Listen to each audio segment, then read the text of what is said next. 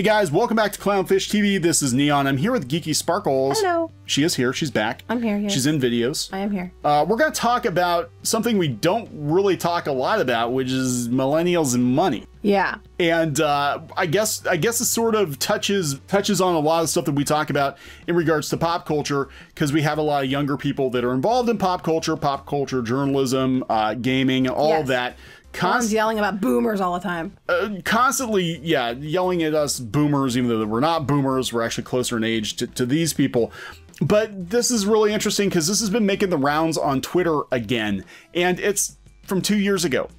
Yep. Two years ago, and uh, it was about a 25 year old who makes $100,000 a year and is excellent with money. Yes, I love and, that. Excellent and, money. and we're gonna break down how this this 25 year old uh, spends his money, and uh, it's weird because this flies in the face of everything that uh, everybody has told you about, you know, millennials and money and not having money, and why it's making the rounds now. I have no idea. So they broke it down on this chart. This has been making the rounds again on Twitter, on Facebook. And uh, this is the budget breakdown of a 25 year old who makes $100,000 a year and is excellent with money in 2018. I love the excellent with money, yes. Excellent with money. Typical monthly spending $2,775. So you're, you're so you're speaking around three thousand times twelve. So thirty six thousand dollars is what he spends. He makes a hundred thousand, even with taxes, he probably gets to keep like seventy thousand of it or so. So that's only half his money. Yeah. Uh, I, I okay. I guess if you're if you're young and single, So what he's making, what he's spending is about what everybody makes in general. right? Uh, I don't care how old you are. groceries 400 bucks health insurance 270 dining out 250 uh, utilities 195 dollars I call bullshit on that one. transportation 130 obviously does not no, have wait. a car I think they have. He has roommates, like four roommates or something like that. I think I remember them. People were saying that he has roommates. So when he's that's his share of utilities. That's his share of a housekeeper. Oh my god I wish uh, I had a housekeeper. cell phone 40 bucks house cleaner 30 dollars internet 20 bucks rent 825 bullshit donations 615 dollars a month in donations I know. I, Oh my god. So I you know this is this is just weird. It's making the rounds now. I don't know why it is. I don't know if it's because everybody's mocking it though. everybody's everybody's mocking it. I don't know if it's if it's because people are like, you know, good luck finding anybody in this economy that's making over hundred thousand dollars a year, let alone somebody that's twenty five. yeah. And uh, I don't know what he does. He might be a tech employee or was a tech employee. Well, it depends where you live too. Like if you live someplace like um, San Francisco or Boston or someplace like that, it's going to be a lot more expensive than somebody who lives like you know in Pittsburgh or something. Yeah, so he uh, he's self-employed. Okay, so yeah, you actually can make pretty good money being self-employed. Um, he earned ninety thousand dollars in 2017. He was on pace to make a hundred thousand in 2018. He wasn't immediately successful. He didn't have a lot of money. Now, most people, if you're working your way up the career ladder, you don't see six figures unless you're like a doctor or a lawyer or something like that until later in your career. You're Right. talking probably mid to late 30s, early 40s. Someone like me as a teacher, forget it. You will never see that. You will never see that. But what's interesting is they're talking about you know millennials and, and money and all that, and um, I want to bring this up because this is kind of you know we were talking about the Kickstarter union before, and the average salary at Kickstarter. A company that literally just takes money from people and acts as a, a middleman, ninety-eight thousand dollars a year. Right, but where is it based at? New York. and See, that's San the thing. Francisco, You have to understand. Like the reason I brought up that was because places like San Francisco and New York, they might pay you that much money, but you know that's still like could be poverty level uh, depending on where you're at. Right. Or you could or you could go work for Marvel Comics and make thirty-five thousand dollars a year. Yeah, in the same area. in New York. You know, BuzzFeed, their journos, average compensation $121,000. How? That's what they're getting paid. $121,000 is the average. The highest paid job is a sales manager at 220 and the lowest is an administrative assistant, at $47,000. So the average is marketing's $95,000. Uh, half of BuzzFeed salaries are above You know, isn't that 127,000. interesting? Because all the jobs are listing there. You did all those jobs for the last place we were at, and you and you got paid like ridiculously low um, an hour, and I didn't get paid at all. I did not get $127,000. And then the argument was, well, interns get that much. Yeah, so, but I have to point out that both BuzzFeed and Kickstarter have had massive layoffs, and I think. I think those salaries are not sustainable. But I just thought it was funny. Um, a lot of people were talking about this, and uh, you know, just where the where the money goes. Um, and again, you know, he's self-employed. That's that's it. And when we talk about you know like comics and animation and stuff too, people don't understand when you work for a studio, you work someplace else, you're not going to get paid a whole lot. No. The people who are successful, and even looking at like manga artists who are very very successful. They're basically self-employed. Their studio produces the manga. They license out the characters to the animation studios. They get a big cut of the royalties, etc. So, if you want to make that kind of money, you're probably, again, unless you're a doctor or a lawyer or something, you're going to have to be self-employed. But what he does, I'm like, wait, this is what he does. Um, he does a graduate exam test prep business. So I guess we're in the wrong business, everybody. so let me get this straight. So he's basically getting paid to test people who want to get into the the traditional career track. Sounds that way. So he's taking And advantage help of them prep for these tests. so they can go not make a hundred thousand dollars a year. B- Basically, Hey, if he can do it, he's talking about Harvard, MIT, and that kind of those those students. Uh, you can get more money a lot of time if you just ask for it. I just charge more and now I make more money. So this is this is interesting though because we have a lot of people out on Twitter who are complaining that they don't get paid enough, and they're complaining about you know this this uh, you know job field or that job field. And it's like why don't you why don't you just change jobs? Yeah, that's just it. Change Learn to code.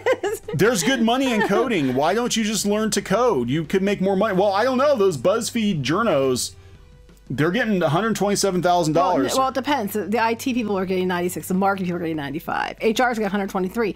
They're not saying what the average writer are they? No, I know it's pretty high though. But uh, Well, they're overpaying. yeah, or they're they're paying per article too. They could be paying per article. Well, BuzzFeed has a lot of user generated content too. So, but these these aren't sustainable anymore. And I think I think what's going to happen is you know, if you're if you're young and you want to make that kind of money now, you're gonna have to be self-employed because I don't think many companies are gonna be offering those kinds of salaries. I just love it though. We get comments all the time. It's like it's because people like you and the, you boomers. That's why we can't make any money. And I'm just like, you know, I don't know why they have it in their heads that everybody that's over a certain age is doing fantastic. Because I can assure you that there are a lot of people out there that aren't making money like that they think they do. Like they're struggling just as much as you know someone who's 25 is struggling just as much as somebody who's 45. It just, you know, it, it's nobody. I mean, there's some people who are, I guess, but I mean, most people aren't making the money that these people think that everybody's making just because you're older. I think that's it. Because yeah, we do. We actually get comments like this. A lot of times we talk about you know industry stuff. We talk about you know the, you know the page rates, and we talk about you know um, different things. You know, you may even mention, hey, we own a house, and you get people like, well, I wish I could own a house. I don't have enough money. I'm like, Go someplace where it's affordable. That's what we did. yeah, don't live in San Francisco. You want to own a house? Don't live in San Francisco Yeah, or New York or isn't like one of those like you can get a little. Our house size, our house the size it is. If it was in like in San Francisco, how much would this house be? Oh over a million. Yeah, Easy. so I'm just Yeah. like, it depends where you're at. It's Yeah. affordable if you go places that aren't, you know. But then you don't. Then you miss out on all the microbreweries and all the other shit. So you have to decide what's important to you. And if what, living someplace inexpensive but you can afford the stuff you want is important to us, that's what we did. If, if if having all the hipster hangouts and you know having four roommates and everything and living in the city is important to you, then by all means do it. I recommend Pittsburgh because there it's at least affordable and you get all the cool stuff. Well, people are moving out of California. They're moving. Oh yeah, you were telling me about that. Did you tell people about this nuts thing? Uh, yeah, so I have to look into this more, but apparently they're they're trying to propose Allegedly. allegedly, apparently, possibly, maybe they're trying to propose some sort of law where if you're a millionaire and you leave California, you have to pay taxes to California for ten years. It's like it's like I don't, alimony. I don't think that's enforceable. Well, it hasn't passed. I guess it's being floated out there because so many people are leaving California now because of the lockdowns and the economy going to shit because of the lockdowns and the money's not flowing like it used to. And again, this article was written two years ago, but the same principles still apply. He said he owes a lot of his success to his own hustle. Yeah. You you mean he's a grifter? Yeah. He's a grifter. Oh my god, he's grifting $100,000 a year. He's probably alt right. That's right. Um, Clearly. Clearly. Well, the fact that his focus is making money, I guess that makes you uh, alt right anymore because you know that is a conservative thing. If you actually think that that you should you know work for money and that uh, capitalism is a okay, um, maybe that's why it's making the rounds. Maybe that's why it's making the rounds on Twitter now because you know capitalism is bad. It's not working out that way though, because it's funny to me because that's being shared everywhere, and most people are like, "This is nobody makes this at 25." Or I mean, some people do obviously, but the majority of people aren't aren't going to be here. It, it's not relatable. Um, people making jokes about right and left. I think everybody sees how you know this is the exception, not the rule. Yeah. So, but I mean, as far as it being kind of the rule, like I remember we did a video on uh, Monopoly for Millennials. It was one of our top performing Yes. videos. We were one of the first people to, to find it. We had it all over the place. And uh, a lot of the jokes were basically that you didn't have any money. Yeah. Uh, you didn't have any money, and that you were your money was actually uh, upvotes. Mm-hmm. You know, it was social currency and not actual money. And um, you know, there were there have been other articles out here basically being like millennials are, are miserable and broke because they spend too much time on social media, buying things they don't need, like avocado toast. Well, of course, that's not you know, everyone. very- I know a lot of millennials who aren't that way. Right, you right. Know, especially around here because you have to hustle, and I know a lot of people who aren't like that. But you know, it's it, it's it's playing to the um you know to the cliche memes and things like that. It's playing to that. But some people play themselves in, They do. into that role too. They they if if you get that victim mindset, You're owed something because you're well you you ruined it for me, so I'm owed money. It's like we didn't ruin anything for you. he We owes get, we get ruined. It gets ruined for us too. Yeah, right. Uh, he owes much of his success to his own hustle, the Mm-hmm. grift, the grift.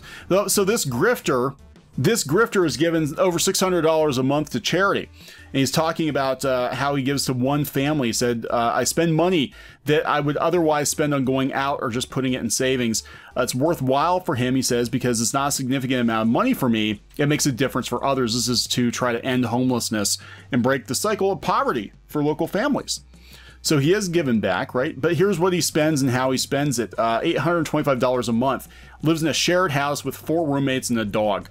He could technically afford a studio apartment, which goes for uh, fourteen hundred to two thousand a month. Oh my God. See, that's what I'm saying. Depends where you live. Yep. Uh, our mortgage payment is less than that, Yes. and we own a house, and it's a pretty big house. He prefers to save and invest the extra cash instead.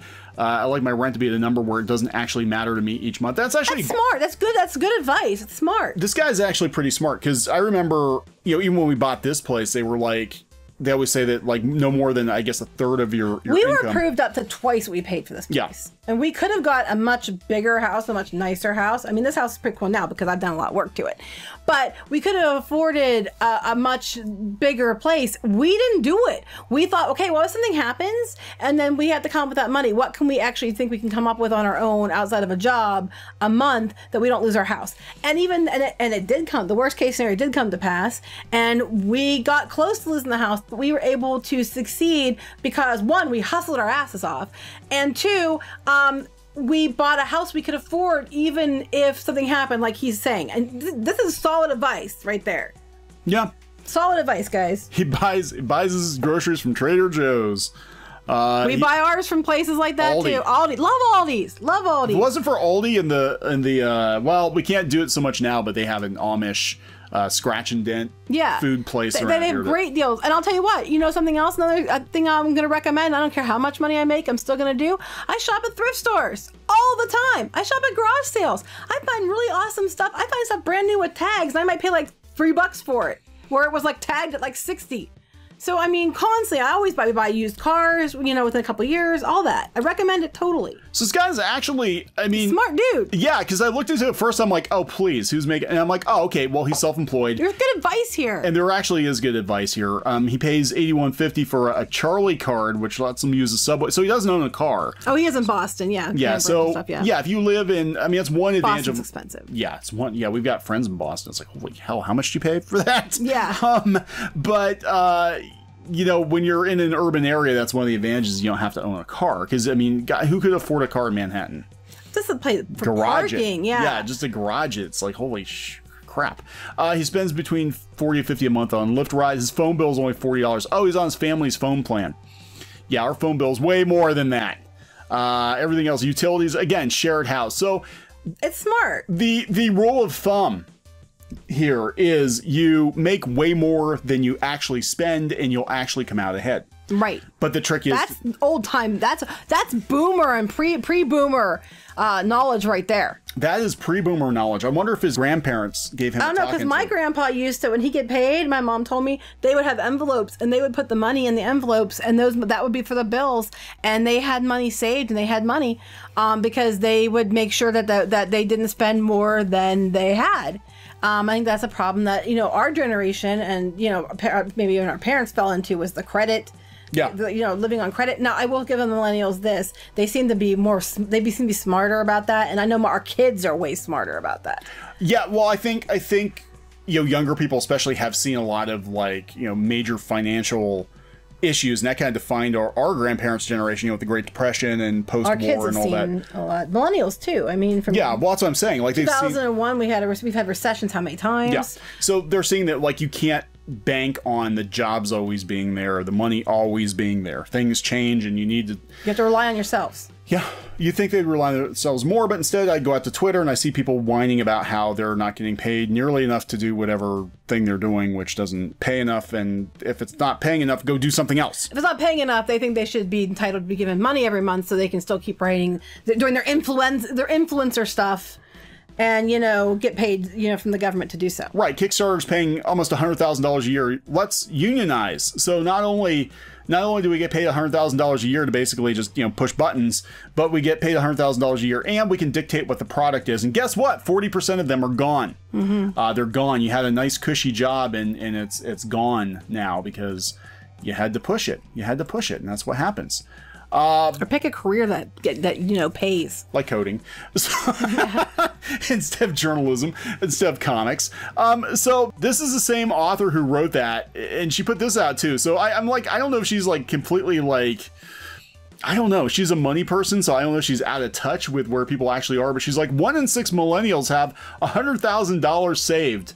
Here's how much you should have at every age. And she's basically talking about your, by the time you're 30 years old, you should have at least $50,000 in savings.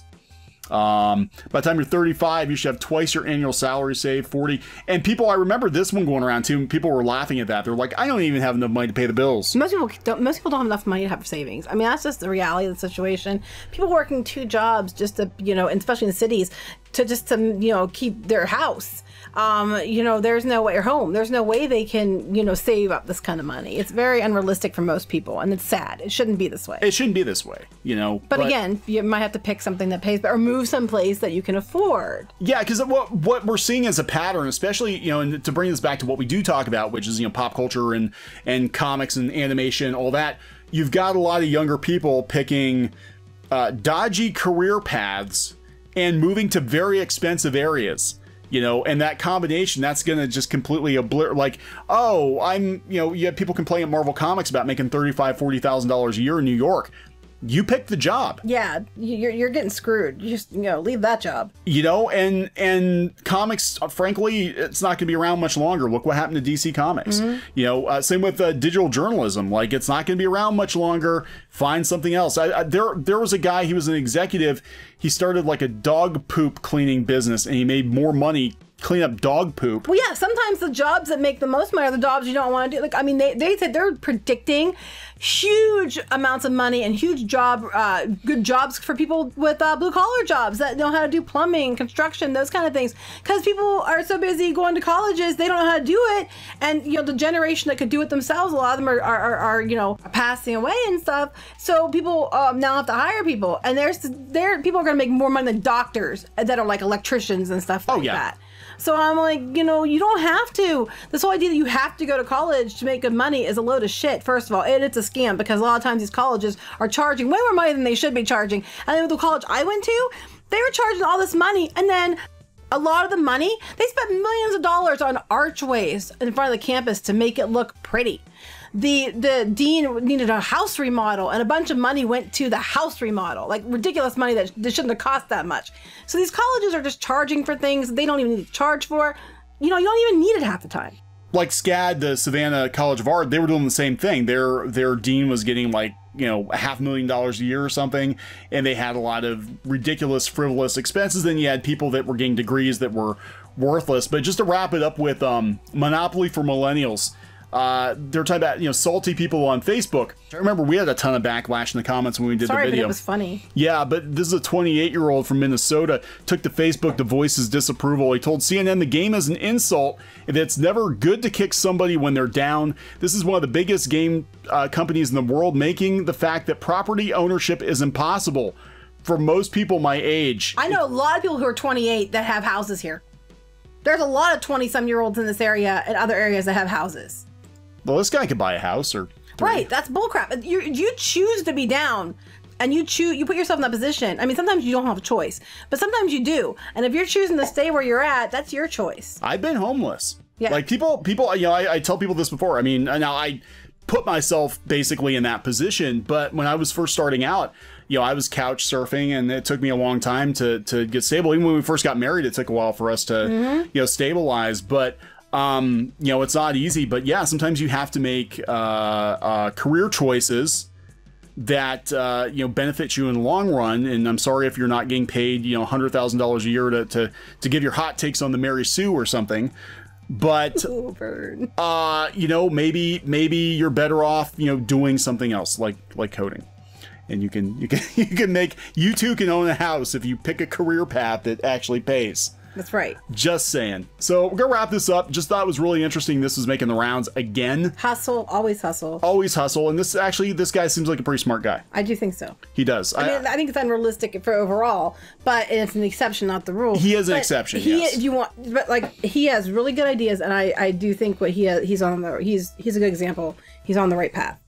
This is two years ago, and I watch it. We Google him, and he's like flat ass broke. I, do, I, I don't think he would be. I don't think he would be because you can't keep somebody who really wants it down. It's just you know. that is true. You have to really want it, and I think I think you know. Again, we're gonna wrap it up here pretty soon, but I think you have a lot of people out there that that believe capitalism is bad. They believe money is bad. It's dirty. It's awful. So if your goal is not to make money, you're not going to make money. No, their goal is to try to control everything. Right, right. So if, if you're yeah, if, if you're happy getting paid in upvotes, I guess that's fantastic. But don't bitch about eating cat food in your apartment with nine roommates because that's what you've chosen. That's the path you've chosen. I feel bad, but if there's probably food pantries, don't eat cat food. Don't eat cat food. It's gross. All right, gonna wrap it up. Yes, please do. Okay, please subscribe for more pop culture news, views, and rants, and we'll talk later. Bye.